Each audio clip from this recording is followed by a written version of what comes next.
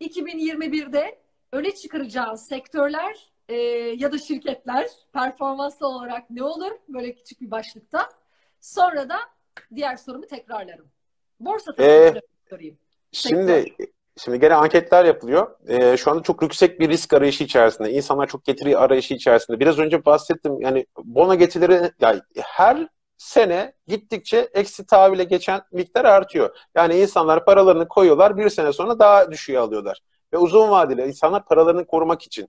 Diğer taraftan para getirilerini sağlayabilmek için, getirilerini yükseltmek için insanlar arayış içerisinde. Bu arayış içerisinde ise en riskli enstrümanlara gidiyorlar. İşte Bitcoin 22 bin doları aşmış durumda tüm e, kripto paralara bu geçişler durumu söz konusu. İnsanlar bu parayı değerlendirecek yer arıyorlar. E, şu anda söyleyeceğim şey şu.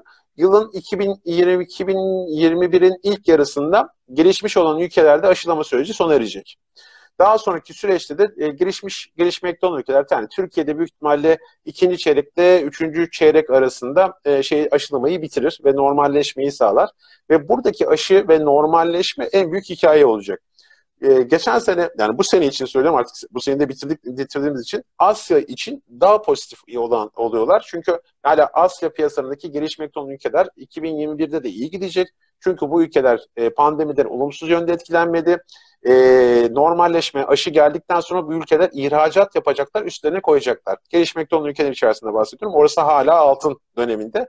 Yuan'ın baktığınız zaman Yuan dolar karşısında çok hızlı bir şekilde değerleniyor inanılmaz bir şekilde Çin'de talep var. Herhangi bir şekilde e, şey cehar yetiştiremiyorlar, kömür yetiştiremiyorlar. Çin'deki taleple alakalı. Dünya normalleştiğini düşünün.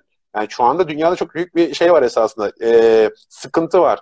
Tedarikte sıkıntı var. Üretimde sıkıntı var. Yarın bugün bu enflasyonun da sebebi evet verebilir ama şu an için emtia fiyatları çıldırmış durumda ve kısa sürede bunun e, toparlaması mümkün değil. Bunu şeyde de yaşadık. Türkiye'de araba gelmedi. Pandemi tarafında üretim olmadı. Yani bir anda üretimin de patladığını gözlemleyeceğiz. Bir anda bir anda üretim patlayacak. Bir anda gelişmeler olacak. Yani hala gizli bir şekilde değerler var. Bunları kimler üretiyor? Gelişmekte olan ülkeler üretiyor. Yani Türkiye mesela Türkiye'de üretilen Tofaş Türkiye'de, Ford Türkiye'de. Brezilya'ya baktığımız zaman şu anda Brezilya, Meksika orada da sıkıntılar var. E, Amerika'daki otomotiv şirketlerini onlar üretiyor. Yani oradaki üretim ve toplam katma değer geldikten sonra sadece 2021 olarak da görmeyin. 2022'de de bu döngü orada da parasını yedirir. Orada para kazandırır. Tamam peki. 2022 sektörlere gel sektörlere geldik. Onu unutmayalım ha. o zaman. Sektörleri tabii, söyleyeyim. Tabii tabii aynen. Önce onu söyleyeyim. Ee, ya burada tabii e, petrokimya şirketleri ön plana çıkacak. Ardından e, demir çelik sektörü zaten şu anda ön planda ama büyük ihtimalle şu anda durdurulmaya çalışan, Çin tarafından durdurulmaya çalışan ve durdurulamayacak olacak. Büyük ihtimalle demir çelik fiyatlarındaki yükseliş devam edecek. E, normalleşme, aşılar geldikten sonra normalleşmeyle birlikte daha da devam edilir. Esasında en büyük risk bence şu anda gördüğüm en büyük risk emtia fiyatlarının durdurulamaz yükselişi ve daha fazla tedarikle ilgili sıkıntılar. E, bunun olumlu yönde tarafını tabii ki Kardemir'de ve Ereğli hatta İstemir tarafında da gözlemleyeceğiz. İstemir'de şu an için diğerlerine göre iskontolu kaldı ama o fabrikalar açılmaya başladıktan sonra, üretim açılmaya başladıktan sonra o taraf da çok daha olumlu yönde etkilenecek. Petrokimyada e, Türkiye çok büyük şanslı. Çünkü şu anda Çin'in istilasında olan sektörlerde bir rahatlama var. Çin mal gönderemiyor. Tedariğinde ve navlunda inanılmaz fiyatlar var. Artık o tedariği de sağlayamadıkları için Türkiye'den Türkiye'deki üretici Çin'den ithal edemediği için petrokimya sektöründe Petkim'liydi, Sasa'sıydı. Hatta bunun içerisinde e, Hektaş'ı gibi yani Çin'le Türkiye'ye ithal edilen ürünler arasındaki bir rahatlama var. Petrokimya ve bu sektörler aksakrilik dahil olmak üzere onlar da gayet iyi. Korts da gayet iyi. Yurt dışındaki gene bu açılmayla birlikte. Yani yurt dışına gene yatırım yapmış ve yatırımları yüksek olan şirketler bence olumlu yönde etkilenecek. E, e ihracatçıları kurdaki geri çekilme olumsuz yönde etkilese bile normalleşme onları dengeleyecek. Mesela ihracatçılarda da büyüme potansiyeli. Beyaz eşya sektöründeki büyüme sadece Türkiye ile kaynaklıydı. Bu sene beyaz eşyalarındaki büyüme. Ama gelecek senenin hikayesi Yurt dışı da büyüyecek hikayesiyle. E, otomotiv sektörü keza gene aynı şekilde değerlendirebiliriz ama kar marjları o kadar yüksek olmayacak. Çünkü e, biraz önce bahsettim. %18, %20 enflasyonun e, şey faizin bize en büyük sıkıntısı iç talepte gerçekleşecek. Önümüzdeki sene bir kredi çekmeye çalıştığınız zamanki faiz oranı bu. E, şimdi inşaat sektöründe de sıkıntılar var. İnşaat demir fiyatı çok yükselmiş durumda. Daha da yükseliyor. Mesela burada bir sıkıntı olacak. Yani o yüzden mesela orada da e, mesela inşaat demiri, kar demiri çok iyi para kazanacak ama gayrimenkul yatırım ortaklıkları yeni projelerin başlamasında sıkıntı olacak. Yani burada ben inşaat tedarik malzemesinden, işte boyasından, seramiğinden, e, e, şeyine, çimentosundan hepsini olumlu bekliyorum. Ama bunun karşılığında gayrimenkulleri olumsuz bekliyorum. Hem konu satamama hem de yeni projelerin başlama sıkıntısı nedeniyle. Ee, daha çok sektör var esasında. Ee, daha bakmadım, detaylı da bakmadım. Önümüzdeki haftadan itibaren biraz daha 2021 odaklı düşünmeye başlayacağım. Çünkü fiyatlar çok uçtu yani. Bir de demir çelik diyorum. Demir çelik bile yani Ereğli bile ikiye, kat, ikiye, ikiye katladı. Ama Aynen. hala o fiyatı işte dediğim gibi orada cefer fiyatı artıyor. Diğer taraftan işte e, şey e, kütük demiri artıyor, kütük demirin fiyatı artıyor, işte inşaat demirinin fiyatı dünyada artıyor. Siz onu her gün koyduğunuz zaman esas onun fiyatı değerlemesi her gün artıyor. Onlar belli bir ortalamaya göre e, e, yaptıkları için yani şimdi aracı kurumlarda da e, bir sıkıntı yok esasında. Belli bir fiyatı alıyorlar. O fiyat yukarı gittiği zaman Ereğli'nin fiyatı da yükseltiyor. Onlar da taktiği üstüne koyuyor, yükseltiyor. O zaman upside değerleri yüksel, yukarı gidiyor. Ama işte Çin'de bununla ilgili bir sıkıntı var. Çin'de bundan ciddi anlamda zarar görmeye başladı. Bir şekilde müdahale etmeye çalışıyor. Ama dediğim gibi yani şu anda pandemi olduğu için üretimde sıkıntı var. Bir kere onu altında yaşadık. Altın Heh. üretimiyle alakalı ha, altında da girmiş olduk. E, altın külçe yani, külçe tabii. külçe üreten e, fabrikalar kapandığı için külçe üreten fabrikalar kapandığı için altın fiyatlarında büyük oynamalar olmuştu. Stok e, yetersizliğinden yukarı doğru sıçramıştı. 2000 dolarları gördüğümüz e, seviyeler esasında onlar o zamanlardı. Altın fiyatlarında ben biraz daha olumsuzum. E, sebebi şu aslında altında olumsuz olmamın sebebi. bahsediyoruz. Ons.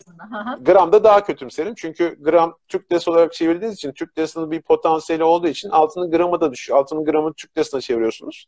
Türk lirası değer kazandığı zaman şey ama diğer taraftan altın yükselse bir de dolar yükselse siz altının onsuna göre çok daha fazla para kazanabiliyorsunuz. Yani geçen senenin en büyük yatırım aracı buydu. Hem altın yükseldi pandemi ha, döneminde hem de dolar, dolar yükseldi.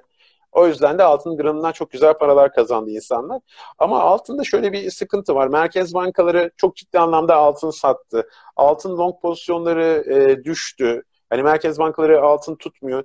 Diğer taraftan da bu şey ciddi anlamda esasında ben hep bu sene içerisinde altın yükselecek dediğim zaman Bitcoin'i tavsiye etseydim. Bitcoin parayı %200, e, %300'e katladı. Altında bir getiri sağlamadı esasında. Yani biz e, riskten kaçınma aracı olarak veya altını biraz daha güvenli liman olarak kullanıyorduk ama e, Bitcoin ve şey piyasası, e, kripto piyasası inanılmaz. Hatta e, iki hafta önce 1800 dolara geldiğimiz zaman, 1800, 1900'ü kırıp 1800'e geldiğimiz zaman en büyük e, altın fonlarından çıkış ve yabancı kripto fonlara giriş yaşandığı dönemdi. Yani altın yatırımcısı da artık getiriyi e, veya e, oradaki spekülatif hareketi kripto paralarda arıyor. Ee, orada peki şey var mı? Hiç gümüşle ilgili bir şeyin var mı Gökhan? Hiç böyle bir gümüş için bir baktın mı veya hani ya, bir öngörün var mı gümüş için?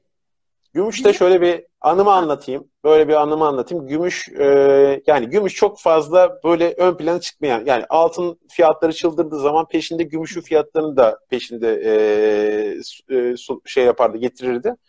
E, bu gene böyle bir dönemde fiziki gümüş olan bir yatırımcı vardı. Gitmiş kapalı çarşıdan gümüş almış. E, ben söyledim e, ne yaptınız dedim. Ben bu kadar gümüş aldım dedi. E o e, şey gümüş bilirsiniz e, şey altın gibi değildir. E, değerini kaybeder. E o paslanınca ne yaparsın dedi. Ne yapmam lazım dedi. Gidin satın dedim. Çünkü herhangi bir şekilde gümüş sizin evde alıp da tutabileceğiniz bir altın gibi bir varlık değil. Ha. O gümüş özelliğini kaybeder. altını gören biz. yani altının öyle bir değeri vardır ama gümüşün öyle bir değeri yoktur. O yüzden hani o gene bir çılgınlık döneminde yaşanan bir artıştı. Ben gümüş fiyatlarını bu noktada Biraz, çok fazla kıymetli metal olarak takip var. etmiyorum pardon bir e, şöyle bir hikaye var. Bu hani Biden'ın e, başa gelmesiyle birazcık daha işte e, yeşil enerji diyeceğim ama böyle daha gümüşün metal olarak kullanılabileceği, daha talebinin hani orada da tabii bir arz tarafı var. Hı hı. Bir de talep tarafında daha fazla bir talep olacağı için fiyatta bir artış olma potansiyeli. Hani 2021'de ee, önümüze gelecek işte tabii ki Amerikan seçimleri sonrası evet. uygulanacak olan politikalara da bakacağız ama böyle bir sanki onu gümüşü daha çok besleyen bir hikaye var gibi. Onun için bizim e, şeyimiz beni ekonomide saadetten takip edenler inanamayacaksın. Gümüşçüler de var yani inanılmaz böyle. E, gümüşü hatta şunu da öğrendiler Gökhan. Biz bu arada nasıl Hı hı. altının gramını nasıl hesaplayacağı herkes biliyor. Benim izleyicilerim biliyor en azından. E, gümüş için de e, ne, ne söyleyecektim ya? Ha, gümüşü de şöyle nereden almamız gerektiğini biliyoruz. Yani biz gümüşü fiziksel olarak almak değil, bankadan bir fon olarak Aynen. almak gerektiğini öğrendik. Altın için gidiyoruz fiziksel olarak alıyoruz. Peki onu da biliyorlar. Onun için hani böyle bir destekleyecek bir hikaye 2021 için senin bir duyumun var mı ya da senin bir önerin Gümüşte var mı? ya Onu altına ben ben ben daha çok altınla paralel hareket edeceğim. Yani ana indikatörü altın olduğu için altında işte en büyük sıkıntı bir ETF'ler ETF fonlarında altının miktarı küçüldü. Ee, merkez bankaları daha az altın tutmaya başladı. Orada o yüzden orada bir zayıflık durumu söz konusu. Şu an için bu yükseliş hareketi yani 1760'tan başlayıp 1900'lere gelen hareket biraz daha teşvik paketiyle ilgili bir beklentiydi. Teşvik paketi haricinde yani heyecan mesela şey kısmı da ilginç. Yani şu anda Noel olduğu için şu anki son fiyatlamalara bakmamaları lazım. Noel olduğu için işlemciler yok, kotasyonlar yok, işte sterlinde ciddi anlamda oynaklık var.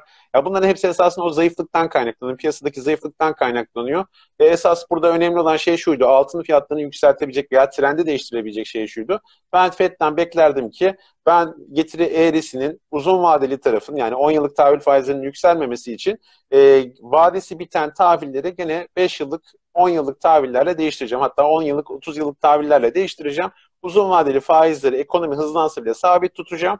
E, bu da altının yükselmesini sağlayabilirdi ama FED herhangi bir şekilde bununla ilgili bir adım yapmadı. Yarın bir gün işte 10 yıllık tahvil %1'in üstüne çıktığı takdirde altına gene sert bir hareket gelebilir. Yani şu an için tahvil faizlerinin e, enflasyonist bir olmadığı için e, bu sene enflasyon olmayacak. Önümüzdeki sene enflasyon olmayacak. Altın beni neye karşı koruyacak? Yani soru bu. Bunun sorunun karşılığında altın cevap şu an için vermiyor. Bu tahvil faizleri aşı haberleriyle birlikte yükselebilir. Tekrar yükselebilir.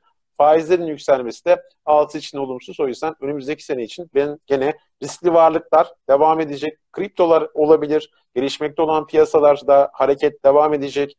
E, e, Asya piyasalarında devam edecek. Bu sene gelişmiş piyasalar iyiydi ama önümüzdeki sene gelişmekte olan piyasaların yılı. İnşallah bu e, piyasaların içerisinde Türkiye'de iskontosuyla ile birlikte ön plana çıkabilir. E, bu sene hani bu Aralık ayı için söylüyorum oldukça kötü olan hisse senetleri şirket, ülkeler çok iyi performans gösteriyor. O yüzden hani buraya gelen yatırımcı için de söyleyeceğim şey kısa vadeli kesinlikle bakmasınlar. Çünkü kısa vadeli kısa vadeli getirileri aldıktan sonra alıyorlar %10, %20 kazanıyorlar belki iyi paradır. Ama e, borsayı uzun vadede düşünürseniz sattıktan sonra o hisse senedi gerçekten iyiyse çok daha uzun yolu olabilir. E, temettü şirketleri ön plana çıkacak. Onun için e, yatırımcılar baksın çünkü bu sene içerisinde şirketler temettü ödeyemedi.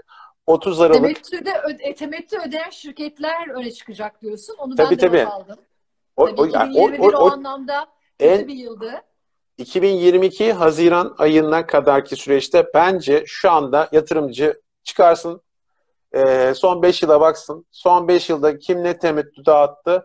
Bu sene temettü dağıtamadılar. Çünkü temettü %25 karlılığın dağıtılmasıyla sınırlıydı. E, OYAK grubu söyleyeyim. Bu OYAK grubu büyük holdingler, Koç Holding gibi bunlar e, iştirakten kendilerini çekip e, dağıtım yapan ve yatırım yapan şirketler. OYAK'ta da şöyle bir durum var. OYAK karın temettüyü yüksek veriyor. Yüksek vermesinin sebebi e, OYAK grubuna çekmesi ve bununla ilgili emekli maaşları da ödüyor. E, gruba da şey yapıyor. O yüzden geçen sene veremediklerini verecek. Yani Ereğli'de çok yüksek bir temettüyle karşı karşıya kalmamız olası. E, gene Tüpraş bu, bu sene kar veremiyor. Tüpraş mesela Tüpraş kar veremiyor zarar ettiği için. Tüpraş'ın karını da e, Arçelik'te veya Ford veya Koç'ta e, şeyde Koç Tofaş'ta hisse senedinde olabilir. Yani büyük ölçekli şirketlerin iştiraklerinde çok ciddi bir şekilde temettü fırsatı var. Yani dediğim gibi bu sene temettü veremeyen ve çok yüksek kar açıklayan şirketler geçen sene yani e, 2019 yılı karlarına baksınlar, 2020 karlarına baksınlar. 2019 yılından kar dağıtamayan şirketler 2020 yılına ekleyecekler. Büyük ihtimalle bunu Mayıs ayında verecekler. Hem bilanço beklentisi, son çeyrek bilanço beklentisi hem de bu açıkladıktan sonra genel kurul beklentisi, temettü beklentisi ilk 6 ay içerisinde çok güzel bir hikaye alın size Türkiye'nin hikayesi ve gayet de... Yani sen tabii borsa background'lı olduğun için tabii ki böyle bir de şöyle anlasınlar istemiyorum. Ben şimdi benim izleyicileri bildiğim için e, Gökhan bir küçük bir açıklama yapayım. Şöyle olsun. Tamam. Çünkü mesela özellikle bu altıncılar ve bizi izleyenlerden böyle hanımların yüreği ağzına geldi sen şimdi. Altın, altın şey düşecek. Düşündüğü için şimdi şöyle bir şey açıklayayım. Yani ben bir kere daha altını çizmiş olayım.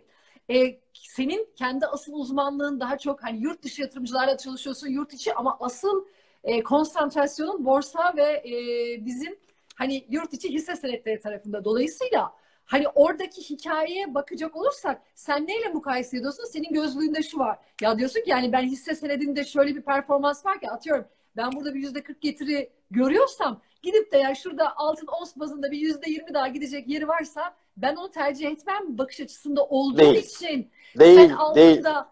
Goldman Sachs'ın Goldman Sachs'ın raporunu, Morgan Stanley'nin raporunu, UBS'in raporunu, yurt dışında çok fazla rapor okudum. Yani şey kısmında da orada böyle mi görüyorsun şu anda? Ben o zaman ya şeyi tahmin tahmin ben yanılmışım.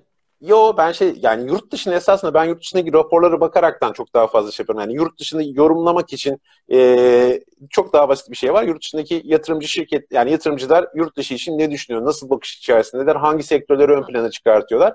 Yani orada zaten hani Türkiye içerisinde almadıklarında sadece dünya için bir bakış açıları var. Yani onun için onun içerisinde de mesela altın yok. Ama zaten yatırımcıları şöyle düşünün. En son Bank of America'nın anketi vardı. Yatırımcılar, büyük fon yöneticileri yükseliş neredeyse onun peşinde gider. Küçük yatırımcı da öyle, büyük yatırımcı da hiçbir fark yok. Altın para kazandırdı mı, kazandırmadı mı? Altının işte şeylerine bakıyorsunuz. E, Londra, e, Amerika'daki CFTC pozisyonlarına bakıyorsunuz. Orada zaten fonların, ETF'lerin giriş ve çıkışlarını görebiliyorsunuz. Ne kadar long, ne kadar e, short, ne kadar ilgi var ya da yok. Yani bence altın... Ve o ilgi kripto paralara kaydı demek istiyorsun. Yani okuduğum raporlarda daha çok kripto paralara tabii, tabii, tabii. şey var, kayış var diyorsun. Dolar, altın short diyorlar, dolar short diyorlar, bitcoin long diyorlar. Ama işte bitcoin e, almak, yani ben mesela bitcoin'i bilmiyorum.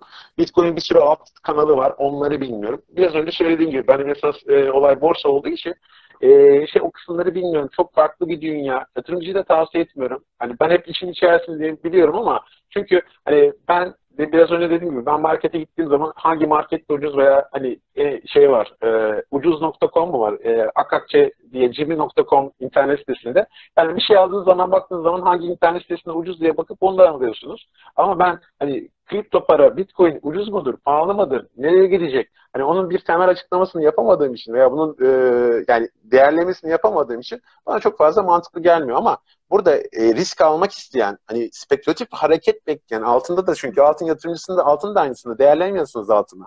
Altın nedir? İşte piyasada e, eksi negatif favil olduğu zaman hani insanlar parasını güvende olsun diye altına yatırırlar. Ama şimdi aynı şeyi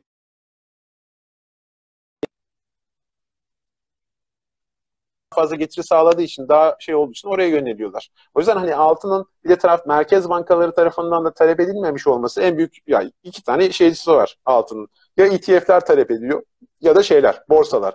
ETF'lerde baktığınız zaman ETF dediğiniz şey de şu. Ben paramı yatırımcı olarak e, altın ETF alırsam altın ETF'i de gidiyor şey alıyor yatırım fonu aynı şekilde altın alıyor.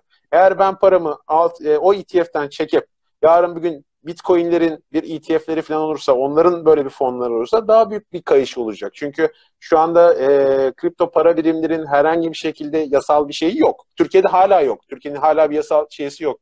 Çalınsa bile e, gidip polise şey yapamazsınız. Benim kripto param çalındı diyemezsiniz. Bu arada Gökhan yorumları açtım. Hemen şimdi tamam. yorumlarda şöyle şeyler var. Beşiktaşlı kral abim.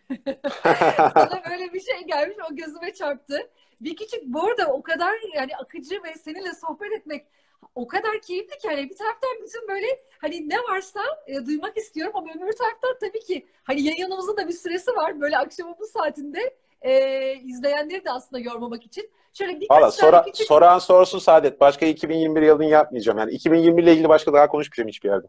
Onda sonunda sana şeyden sözüm var zaten. Ee, daha tacirlerle çalışırken orada o zamandan sözüm var. Tele, televizyona çıkacaktım da televizyona çıktığım zaman olacak. Ya. Kısmet bak bunu. Bak Kısmet bugüneymiş. Bugüneymiş yani. Aynen öyle. Çok teşekkür ediyorum. Şimdi bir dakika o zaman seni buldum ya tamam bu, bu tamam. buldum mu ben artık sorulara. Şimdi şey dediler orada güzel bir soru gördüm. Ee, Gökhan Bey e, bir portföy e, olsa bize hani hangi ağırlıklarda bir şey söylerdi? Yani çok güzeldi oradaki soru. Bu arada geçti. Bir şeyle ilgili soru var. E, krediyle ilgili bir soru var. E, malum.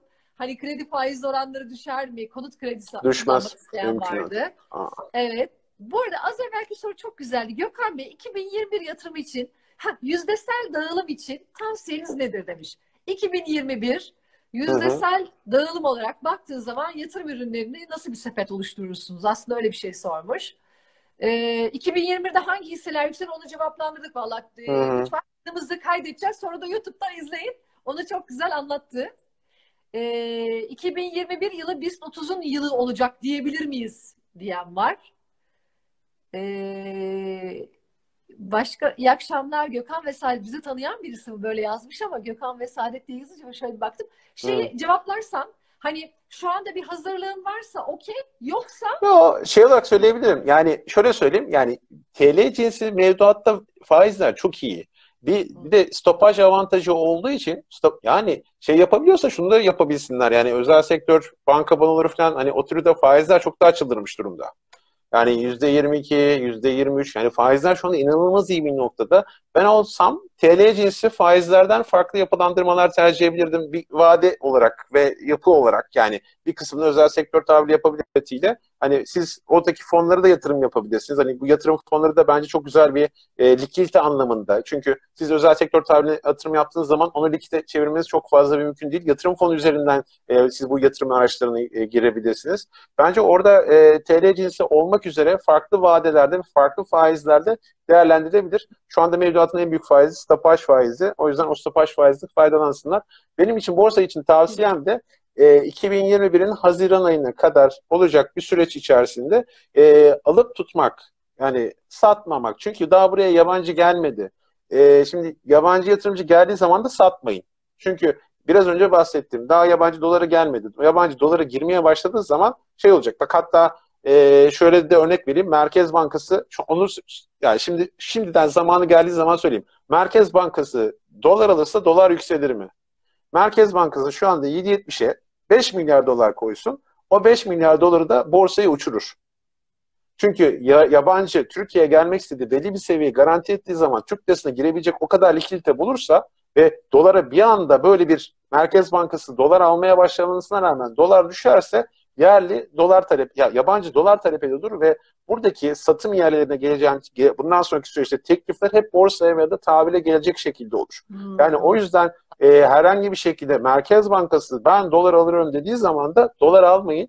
Çünkü Merkez Bankası yarın bir gün şu anda olacak bir şey değil ama Merkez Bankası alacağını söyledi.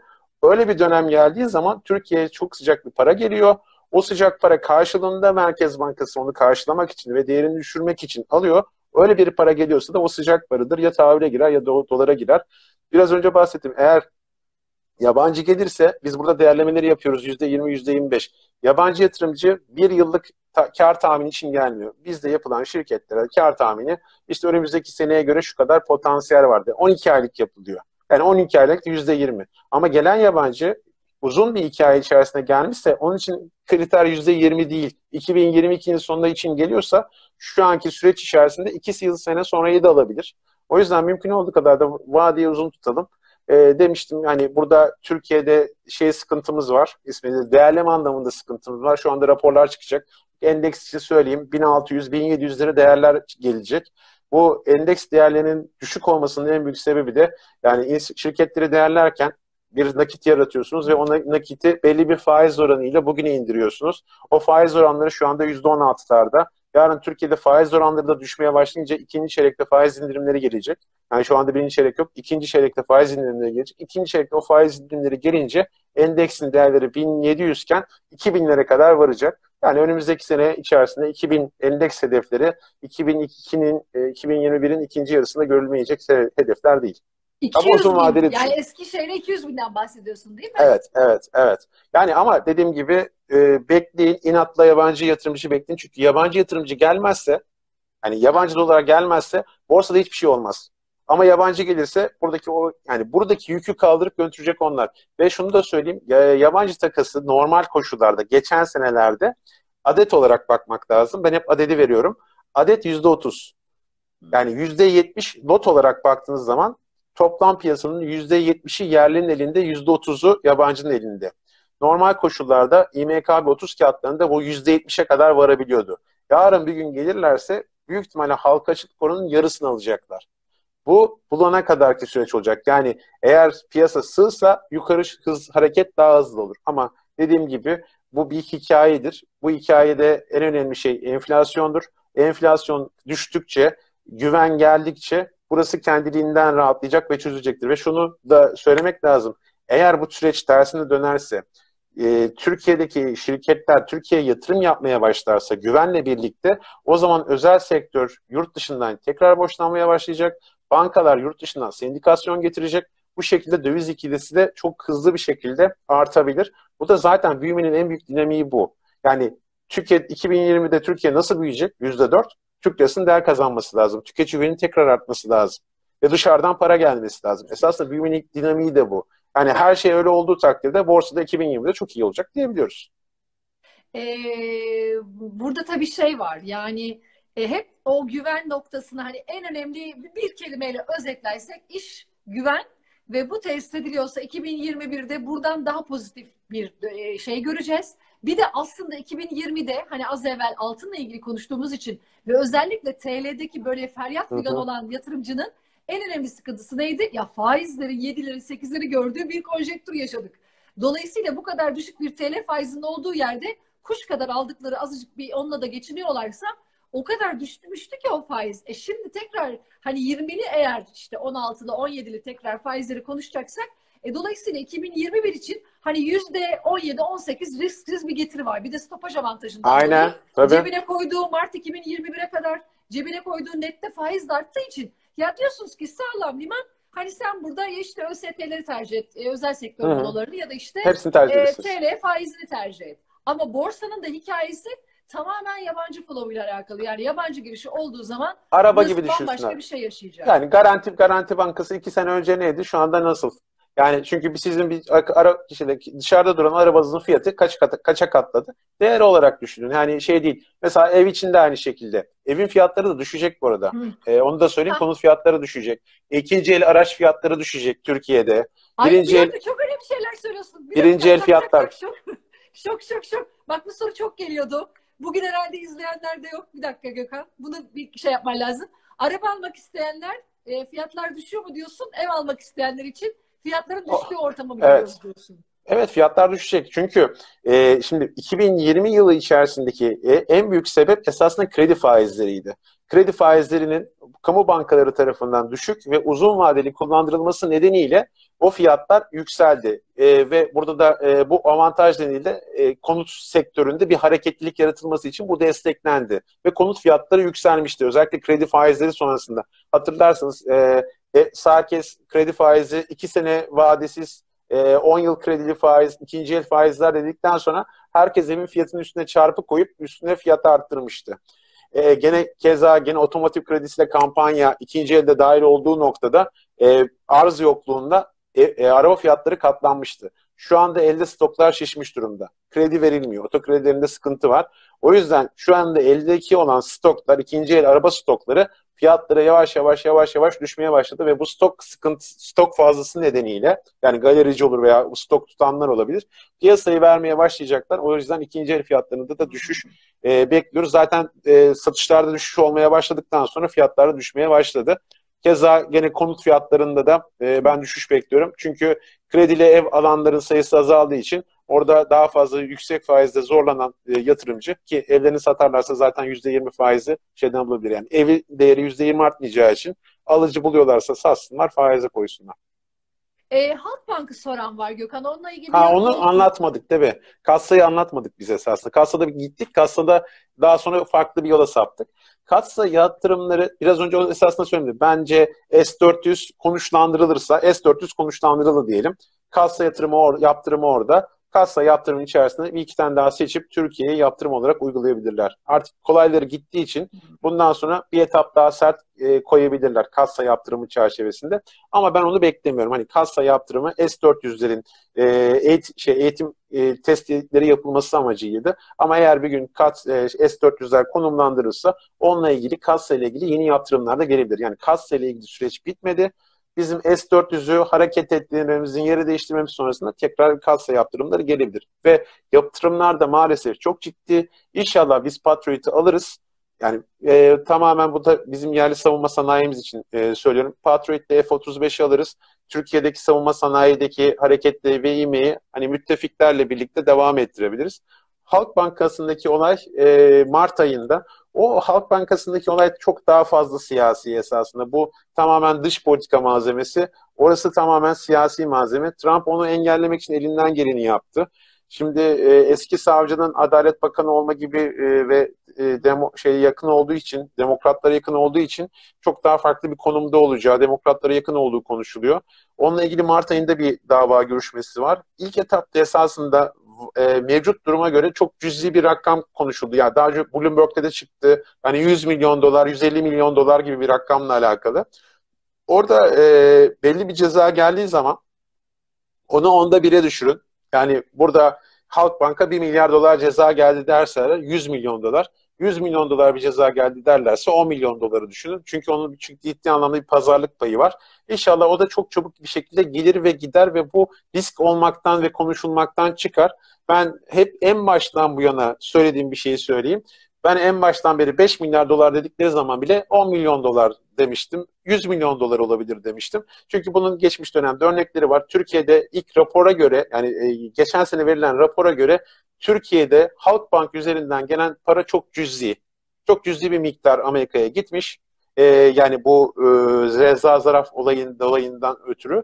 Hani o yüzden Halkbank'tan çıkan para ve Amerika'dan giren para çok ufak. O yüzden de yani tamamı kadar yazsa bile çok büyük bir ceza almayacağız. Ama Halkbank'taki fiyat hareketinin düşüşü maalesef e, bundan kaynaklı değil.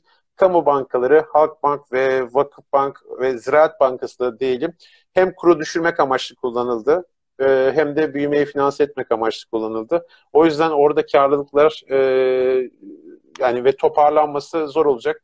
Ben hep söylüyorum Mayıs ayında e, iki sene va, e, şey 60 aya kadar vadeli bisiklet kredisi verildi Türkiye'de kamu bankaları tarafından. 60 ay vadeli bisiklet. Yani e, bu tür yani kaynaklarımızı bu ya da şey ama yani ama gerçekten ya kaynaklarımızı etkin? Yazın yani Mayıs, Haziran, Temmuz o faizlerin şey gibi deli gibi 7-8'lere düştüğü zaman herkes bana soruyor. Ben dedim ki deli misiniz? Yani ne bekliyorsunuz? Hani iş, işsiz kalmak gibi bir kaygınız yoksa bu faiz oranlarını gidin kullanın ya. Böyle bir faiz oranı olmayacak gibi daha Türkiye'de. Ya öyle bir konjektürde olmadığımızı idrak edenler zaten inanılmaz e, tüketici kredileri falan patladı yani baktığın zaman aslında e, oradaki o yaz aylarında yani şimdi söylediğin örneğe gülmemek hani bisiklet kredisi 60 ay var. Aynen. Yani... Şöyle iktisat nedir? Kıt kaynakların etkin kullanılması. Türkiye'deki en kıt kaynak nedir? Para ve tasarruf. Yani biz herhangi bir kuruşumuzu, paramızı dikkatli bir şekilde kullanmamız lazım. Biz cari açık veren bir ülkeyiz. Yani o yüzden bu kredilerin bu musluk gibi kullanılması para sınırsız değil. Bizim ülkemizdeki en Basıyoruz kıt kaynak ama. Sınırsız bizim için. ya e, yani o kıt kaynak ya bu işte bu işte krediler ve kredilerle ya şey Şimdi o kadar maalesef yani Türkiye'nin bir adalet dağılımı var. Bu gelir dağılımı var. O gelir dağılımı çok bozuk. Gelir dağılımı esasında bu e, şey belli bir seviyenin altını yani orta gelirin altını siz krediyle borçlandırdığınız zaman bankaları çalışıyor. Yani şöyle de çok büyük bir örnek göstereyim size. Mesela Ferit Şahenk, Doğuş Grubu. Garanti Bankası'nın sahibiydi e, Garanti Bankası'nı sattıktan sonra büyüme süreci içerisinde şu anda varlıklarını satıyor ve borç yapılandırma durumunda. Yani e, burada büyük o şirketler bile bu kredi faizi kaçmazında, bu kredi iç açmazında zor duruma düştüler açıkçası. Yani küçük e, şey küçük diyorum hani orta gelirin altındaki e, durumda borçlanma çünkü e, şöyle söyleyeyim size bu vakıf banktan veya kamu bankalarından alan insanlar bu paralarını ödeyemeyecekler. Çünkü Türkiye'de önümüzdeki seneden sonra bu işveren desteği ortadan kalkacak ve işsizlik artacak. İşsizlik arttıktan sonra o parayı ödeyemeyince ne yapacak? Tekrar krediyi yapılandırmak zorunda kalacak. Kaçtan almıştı? Şimdi %30'a yaptıktan sonra kaç kaç ayda ödeyebilir? Yani e, vatandaş daha kredi konusunda daha olumsuz olacak. En sonunda geldiğimiz nokta şu. Enflasyon düşmediği takdirde bu şekilde gelir ve adalet dağımsız, dağımsızlığı artacak. Ve burada da kalkınma ve refah kavramı var. Yani bir Türkiye'de hep diyoruz ya e, 10 bin dolar bir açmaza girdik açmaza girdik. Esasında bizim gelirimizin yükselmesi gerek değil. Orta tabanın altındaki ve orta gelirlerin orta direk ve altın esasında yukarı doğru gitmesi lazım ki biz o eşiği aşabilelim. Şu anda bizim Türkiye'de belli bir kesim var. O eşiği aştık uzaya doğru gidiyor. Ama belli bir kesim var ki tabana doğru gidiyor. Bizim esasında tabanı biraz daha ortaya ve üste çekmemiz lazım ki bizi orta gelir tuzağından kurtulalım. Şimdi Gökhan yani çok hakikaten seni böyle buldum ve uzun süredir de yani böyle bir buçuk saattir neredeyse konuşuyoruz ama bu kadar anlatmaların, bu kadar böyle nokta atışı aslında söylediğin Hı hı. bütün bu söylemlerinden soru şuraya geldi. Hazırsan en kritik sorumuza geliyoruz. Herkes şu anda etekleri tutuşmuş durumda dolara olanların. Eyvahlar olsun. Ee, dolar daha da aşağı gelecek? Dolar geçmeyecek mi? Dolar için yorumunu bir küçük rica ediyorum. Çünkü hani bir daha gelmeyeceğim dedin. Tamam. Ben 2021'de gene altını- bırakmam ama bir dakika, Ben- bir dakika. Heh, tamam. Bir dakika. Dol, e, yorum artık e, yayını kapatacağım. Bu kadar şey Tamam, olmasınlar. tamam. Dolar için e, yani tabii sen kalalım diyorsan biz sabah kadar yapalım. Ben uykumu uyudum. Biraz önce uyudum. Biraz uyu- biraz önce dinlendim. Çok yo çok yoğun. Bak, yayında kaldığınız sürece bütün. Ay Sa- Allah. sabah Gökhan- sabah 5 sabah 5'ten beri ayaktaydım. En az yemek yedikten sonra şöyle bir saat kestirdim. O yüzden uykum yerine geldi. Biraz Süper. daha geç yatacağım. Tamam harika o zaman. Gökhan'ı da böyle bulmuşuz ya. Evet sorular gelsin. Dolar için ne olur bir yorumunu istiyoruz. Ondan sonra diğer bakacağım.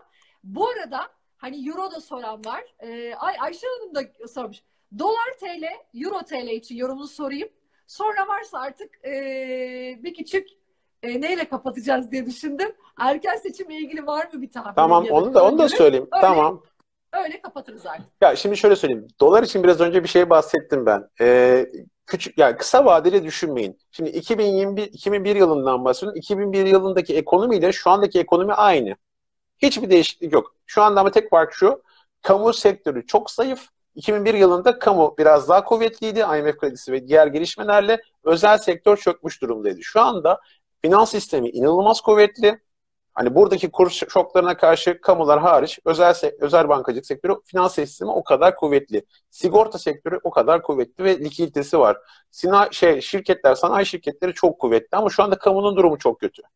Bu kamudaki değişim, yani buradaki yaşanan değişimi yaptıkları takdirde e, ve zayıflıkları kapattıkları çünkü bütçe açığı içinde kat- ka- e, katı bir e, bütçe yapacaklar.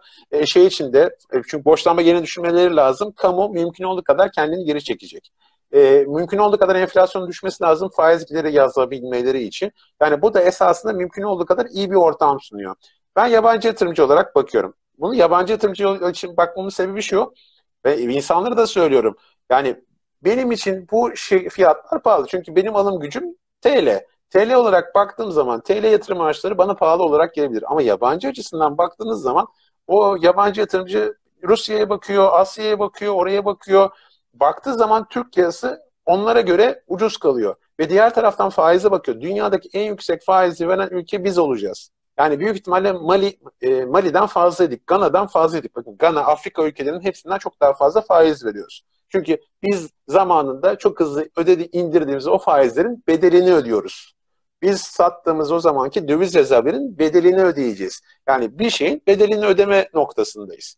O yüzden bu faiz döneminde ve İtalya, Yunanistan gibi bu ülkelerin faizleri sıfıra yaklaşmışken, Çin gibi ülkeler sıfıra yaklaşmışken sadece şöyle düşünün. Ben o ülkeleri aldım. ETF olarak düşünüyorum ya da bir portföy yapıyorum yurt dışı yatırımcı olarak. Getirimi şu kadarcık yükseltmek için ve rakiplerinden fazla getiri sağlamak için çünkü dünya getiri arayışında portföyümü Türkiye'ye katıyorum.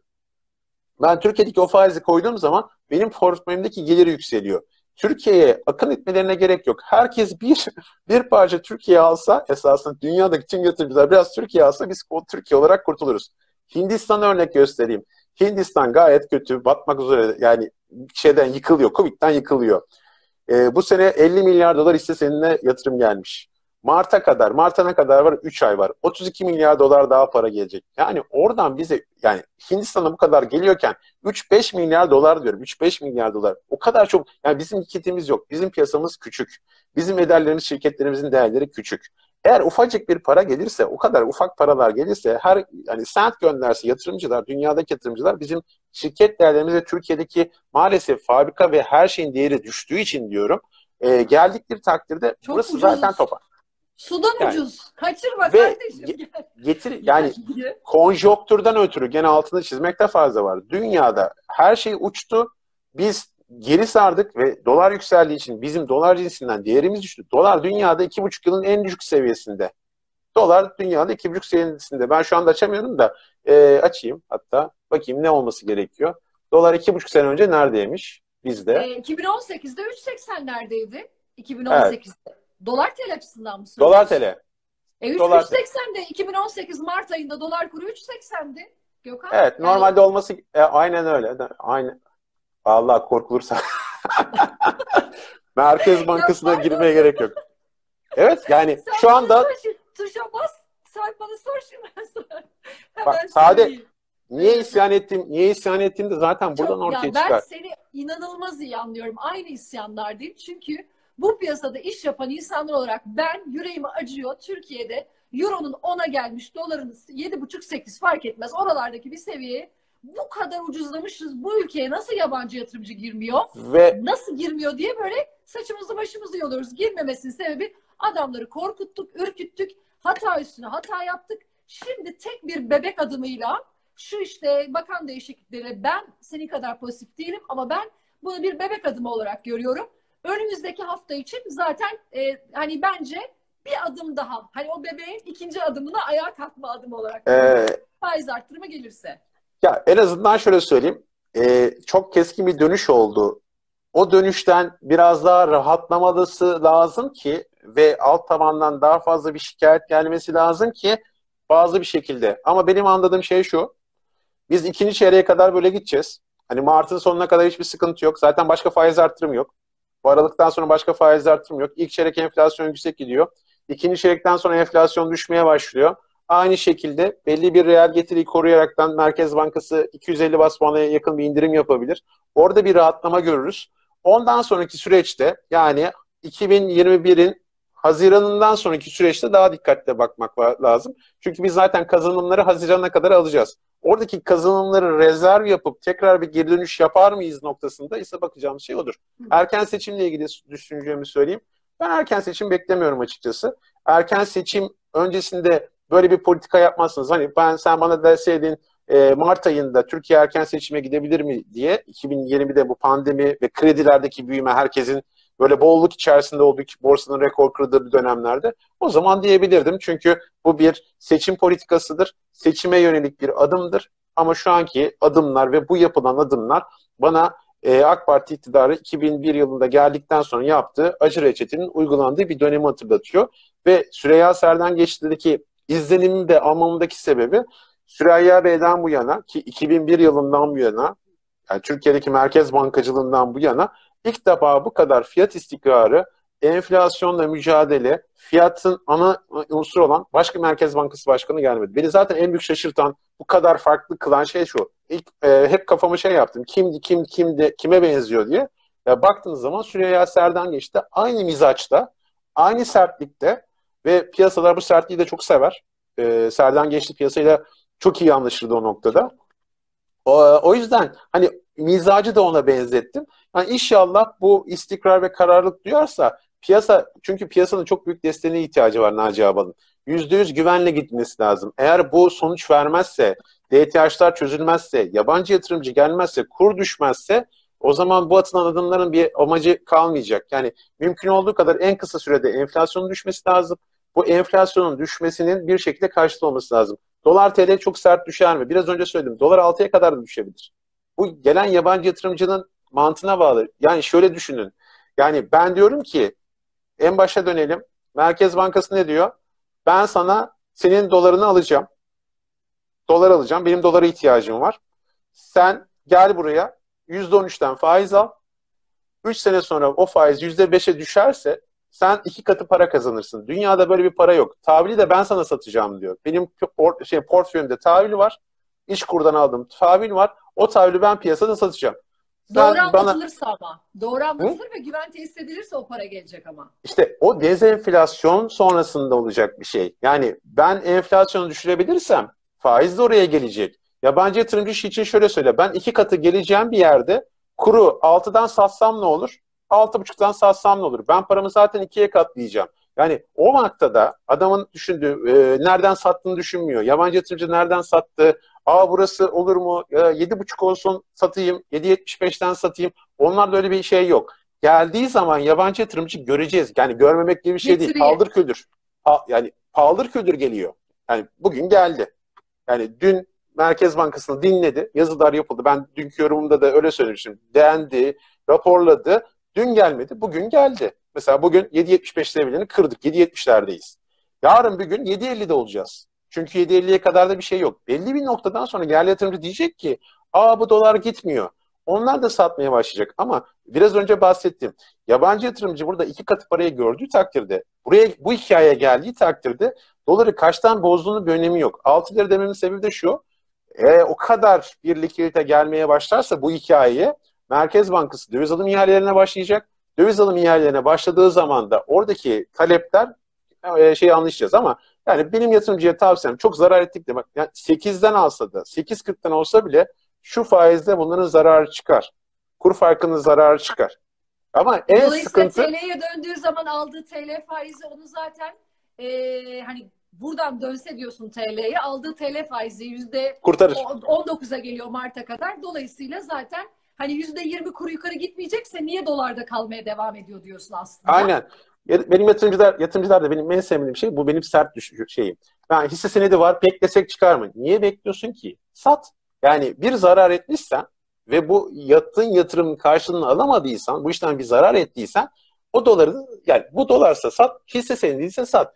Bir beklenti içerisinde gibisin. Çünkü ya, ya, yani insan olarak düşünüyorum ve insanların yatırımcılarla çok bir e, yani hayatımı geçirdiğimi söylüyorum. Yani şimdi yatırımcı önündeki tüm gününü o hisse senedi yükselsin diye bakarak geçiyor. Hisse senedi öyle yükselmez. Eğer siz doğru bir yatırım yapmışsanız o yatırım meyvesini alırsınız ama maalesef yabancı yerli yatırımcı belli bir fiyattan alıyor. Yükselecek ve onun peşinden koşarken hisse senedi fiyatı düşüyor. Daha sonra ortalama yapıyor. Bir şey yapmaya çalışıyor. Elinden çünkü bir şeye gelmiyor. Elinden gelen şey şudur. Siz bir belli fiyattan alırsınız. Bir beklentiniz olur. Bir beklenti çerçevesinde alırsınız. Ve o beklenti çerçevesinde tutarsınız. Ama yerli yatırımcı maalesef alıyor ve o yani kanser olan insan gördüm. Yani ben şu hayatımda kanser olup borsadan ölen insan gördüm. Yani maalesef çünkü hisse senedi e çünkü evet. ya boşanan gördüm. Yani Viop'ta parasını bitiren gördüm. Herkesi gördüm ben. Piyasada herkesi gördüm. Bu bilinçsiz yatırımdan kaynaklanıyor. Ama bilinçsiz yatırımcı da şöyle bir şey değil.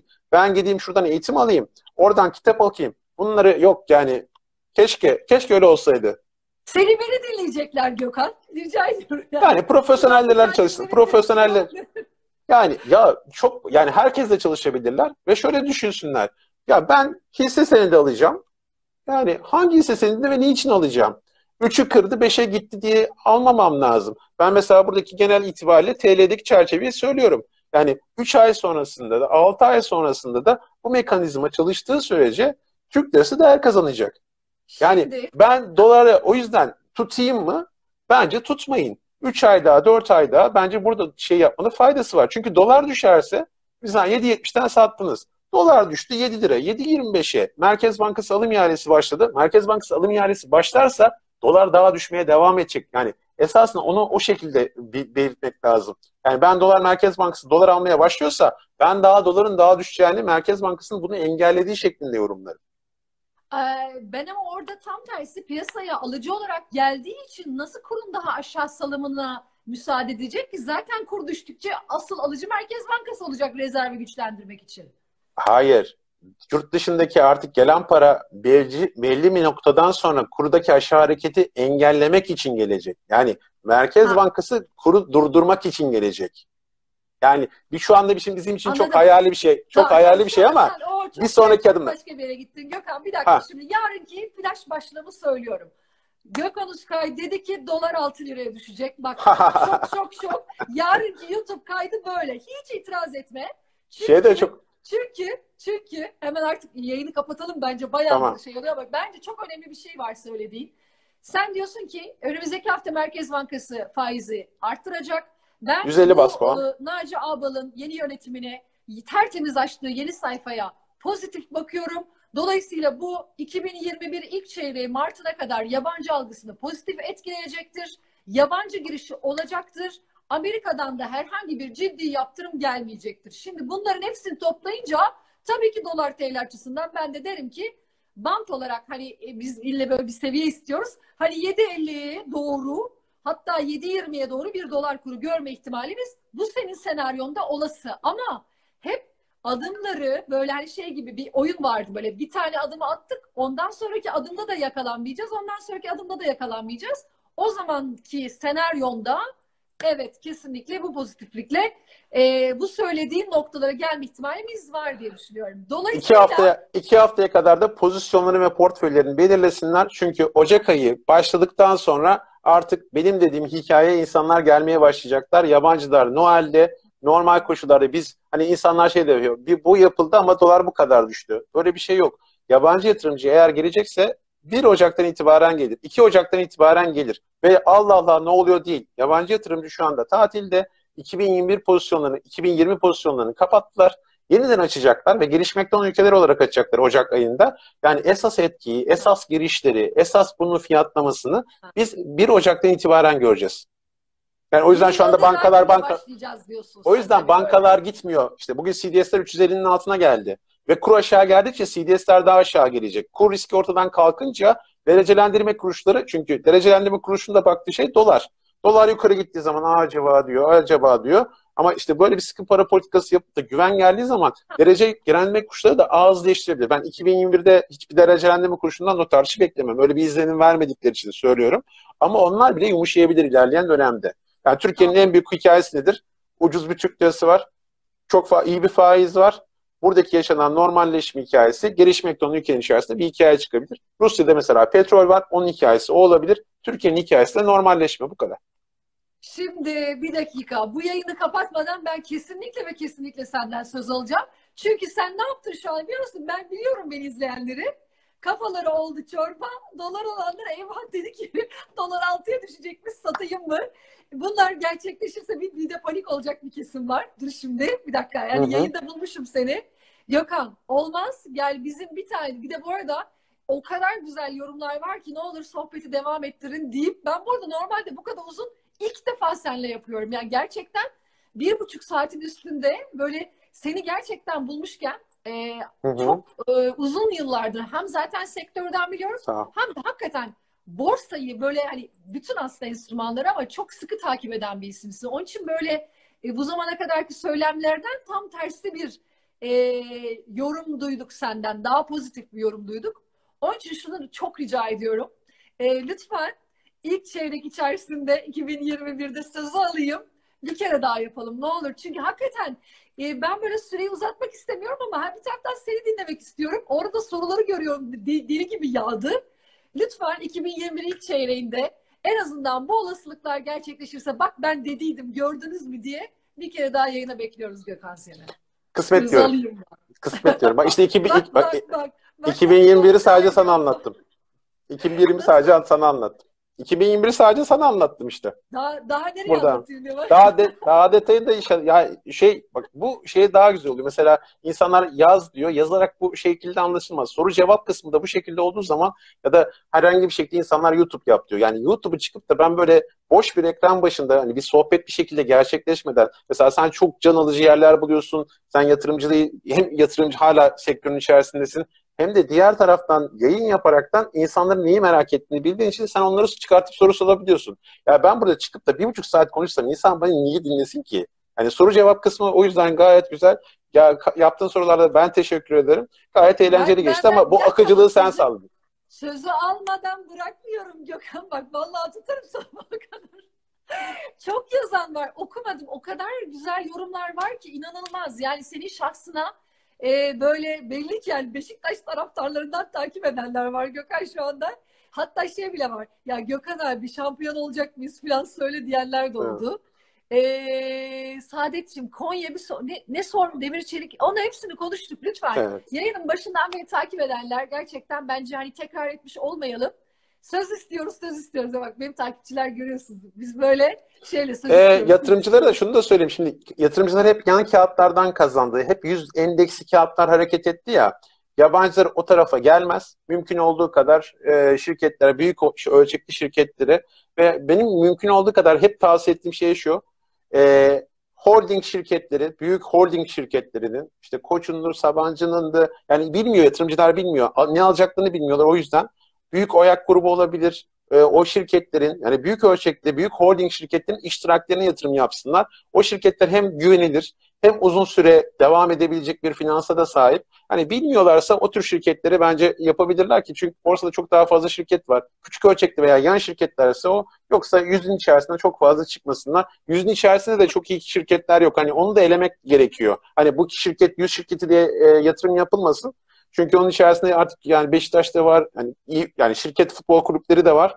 Yani futbol kulüplerinde yatırım yapılmasın. Diğer, diğer taraftan hani öyle bir mesaj da verebilirim. Yani turizm şirketleri iyi gidiyor. 2020 yılında da iyi gidecek. Hani bu Pegasus'u, e, TAV, Çelebi, hani onu da söyleyeyim. Onlar da konusunda da ben pozitifim. Yani burada normalleşme geldikten sonra ki bizdeki normalleşme büyük ihtimalle 2020'nin ikinci yarısına kadar gelecek ama Haziran'a kadarki süreçte yani bence uzun vadeli düşünün. Fiyatlara günlük olarak bakmayın mümkün olduğu kadar fiyatları çok şişmiş. Bak şunu da söyleyeyim. İnşallah Borsa İstanbul e, yıl sonunda açığa satış işlemleri ve marjları, %20'lik marjları yerine getirir. Yoksa bu fiyatlar daha fazla şişecek. Şu an için yatırımcı para kazanıyor. Ama 2020 yılında bu fiyatlar şişe şişe şişe en sonunda yerli yatırımcı da zarar görebilir. Ee, onu da yapayım çünkü artık aracı kurumların kredi limitleri de oldu. Yani orada da bir sıkıntı var yerli tarafta. Ama burada açığa satış normalleşirse ve e, %20 marjlar gelirse yani eski normale biz de Borsa İstanbul olarak dönebilirsek bu şişmiş hisse senetleriyle ilgili. Çünkü halka arz oluyor. %7, %8 yani bunların hiçbir tanesinin ekonomik gerçekliği ve mantığı yok. Yani yatırımcı bilinçlenmesi gerekiyorsa hani bu yönde bilinçlenmesi lazım. Bu yatırımcıyı biz kaybetmek istemiyoruz. Zor bulduk sektör yani 10, 20, yani 2001 yılından bu yana 1 milyon yatırımcıyla geliyordu ve bu 1 milyon yatırımcı diye bir hesap yoktu. Bu 1 milyon yatırımcının yaklaşık %50'si zaten borsada batmış insanlardı. Çok aktif, çok küçük bir kısmı sektörü döndürüyordu. Şu anda çok büyük bir yatırımcı kitlesi geldi. Daha da gelecek halka arzlar gelecek. 2020'de daha büyük halka arzlar gelecek. Yani inşallah bu yatırımcıları hep mutlu ederiz. Ama hani biz sektör olarak destekliyoruz ama diğer taraftan da kendilerine dikkat etmesini e, tavsiye ederim. Tabii böyle risk iştahının bu kadar e, böyle e, şey deli gibi hani senin zaten konuşmanın başında da söyleyin, söylediğin e, likidite bolluğunun olduğu risk iştahının yüksek olduğu bir ortamda e, ve hisse özellikle faizlerin de düşük olduğu bir konjektürde hepsi birbirine denk geldi ve neye koysalar aslında altın altın oldu yani hisse senedi bir böyle hepsi para kazandılar. İnşallah daha çok kazansınlar. E, daha, daha çok kazansınlar. Için, Ama e, önemli olan şey kaybetmemek Saadet. Bak biz, bizim için önemli olan dün e, şey Okan Bey'in de canlı yayını vardı Okan Alpay. E, onun da canlı yayında hep onu şey söylüyor mesela orada da e, Türkiye'nin en fazla kazandıran fon yöneticisi e, diyor önemli olan şey parayı kaybetmemek. Parayı kaybetmeden üzerine koyabilmek. Ve kendi başarısını o şey olarak e, koymuyor. Ben işte 5 yılda %500 benim fonum kazandırdı olarak koymuyor. O kendi başarısını piyasanın sert düşüşlerinde bile piyasanından daha aşağı bir geri çekilme olarak koyuyor. Yani yatırımcı şu kadar kazanacağım diye hedefini koymamalı. Ben bu kadar kazanacağım. Hatta Viyop tarafında kendisini hatchleyebilip de bunu dengelemesi lazım. Çünkü siz para, borsada para kaybetmezseniz kaybetmemeyi becerebiliyorsanız zaten ileride para kazanabilirsiniz ama gene diyorum hani 6 ay yatırım yapsınlar. Bakmasınlar 6 ay sonra baksınlar. Çünkü 6 ay önce yatırım 6 ay önce yatırım yapanlar şu anda erken satmışlarsa e, zarar etmişlerdir ama 6 ay önce yatırım yapanlar yani şu anda parasını ikiye katladılar. Kaç ayda?